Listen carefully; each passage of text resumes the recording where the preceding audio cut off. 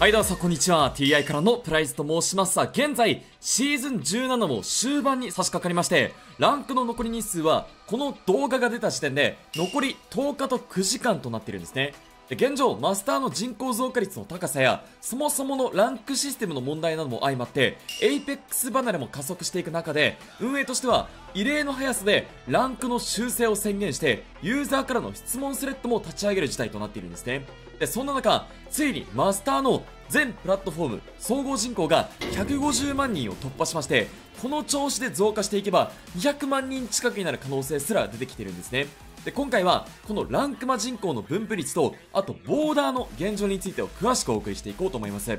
それでは今回の動画タイトルといたしましてはシーズン17終盤ランクの人口分布ということですね。それぞれのランクごとにどれくらいの人口がいるのか今回これについてを詳しく見ていきます。ではまず1つ目現状の人口分布についてを話していきましょう。ではまず今回参考にするのは Apex Legends ステータスでありましてこのサイトではおおむね7割程度のユーザーが反映されているんですね。しかし、全ての人口が完全に反映されているわけではないため、実際には今回紹介する数値よりも非常に多くの人口がいる前提で見てほしいんですね。ではこれ合計人口の方から見ていきましょう。で、現在ですね、シーズン17のランクマの合計人口は、現在382万6964人います。これめっちゃ多いんですね。ただ、前回の動画より10万人弱下がっているんですけども、これは反映上の問題でありまして、実際はこれよりも非常に多いわけですね。まあ、そのため、ここに関しては特段注目しなくて大丈夫です。では次に、ルーキーの人口の方を見ていきましょう。で、まず、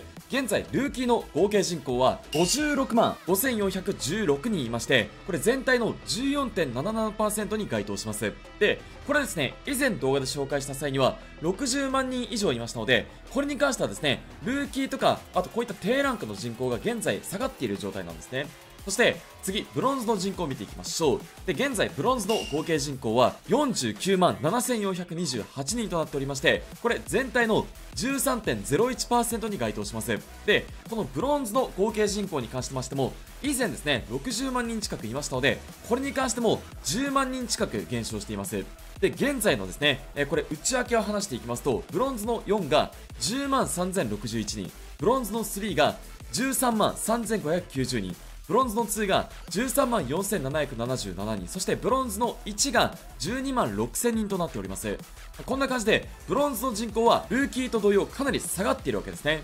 次にシルバーの合計人口を見ていきましょう。現在、シルバーの合計は45万9649人となっておりまして、これなんとですね、ブロンズとそこまで大差がないわけですね。これは全体の12.01%に該当します。次にこれ内訳の方を見ていきますとシルバーの4が10万85人。シルバーの3が12万7982人。シルバー2が12万3413人。そしてシルバーの1が10万8169人となっております、まあ、こんな感じでシルバーの人口に関してもかなり顕著に下がっているわけですね。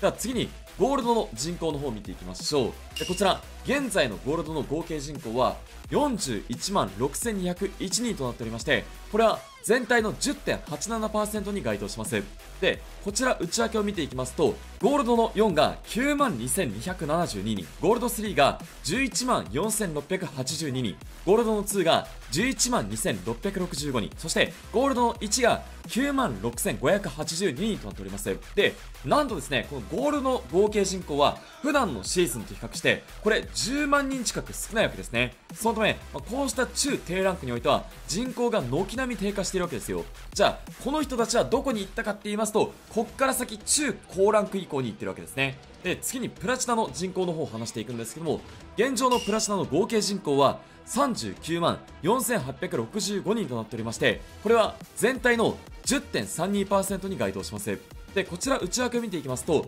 プラチナの4が11万1114人そしてプラチナの3が11万474人そしてプラチナ2が9万6977人そしてプラチナの1が7万6300人となっております。でこのプラチナの合計人口は普段の平均値だと約10万人から20万人ですのでここに関しては今回めちゃくちゃ多いわけですね。そして次ダイヤの合計人口は現在36万631人いましてこれは全体の9.42%に該当します。でこちら内訳を見ていきますとダイヤの4が13万1259人ダイヤ3が9万5777人、そしてダイヤの2が7万5717人、そしてダイヤの1が5万7878人となっております。で、このダイヤの合計人口に関しても、普段の平均シーズンだと、だいたい5万人から10万人いかないくらいですので、ここに関してもめちゃくちゃ多いんですね。まあ、要するに、この低ランクから中ランクに関しての人口が、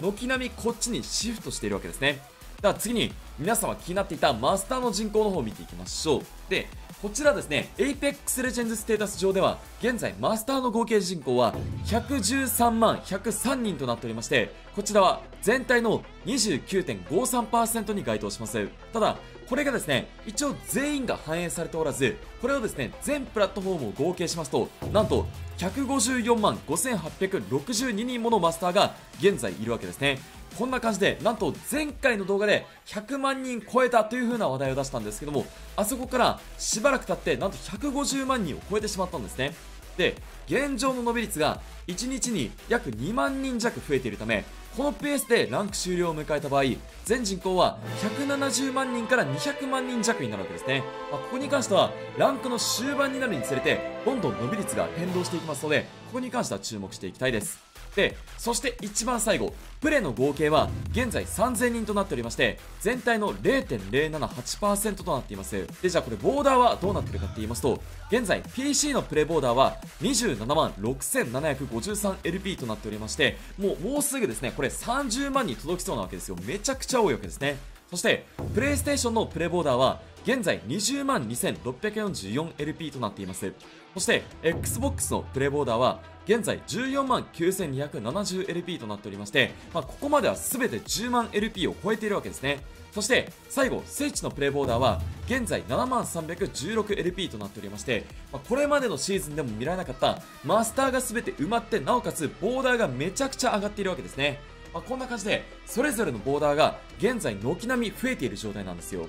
で、これに関して、もしこのマスター増えすぎでやばいとかそう思った方いましたら、ぜひともそういった意見コメント欄にお寄せください。では次に2つ目、今回の分布の反応についてを見ていきましょう。最も多く意見が飛び交っているのが、マスターに関する到達のたやすさでありまして、普段の平均マスター人口が3万人であることから、今回は非常に多くの初マスターが誕生したんですね。で、これ自体は非常に喜ばしいことなんですけども、しかし、あまりにも到達が簡単すぎて、もうプレイしないといったプレイヤー、また、ハイドに専念するプレイヤーなど、これ、歪なランク環境が生成されてしまっているんですね。で、これに対しては、運営も由々しき事態に捉えておりまして、以前の動画でも紹介したように、運営は、ハイド対策やランクの難易度の上昇を次回のシーズンで行うと宣言しているわけですね。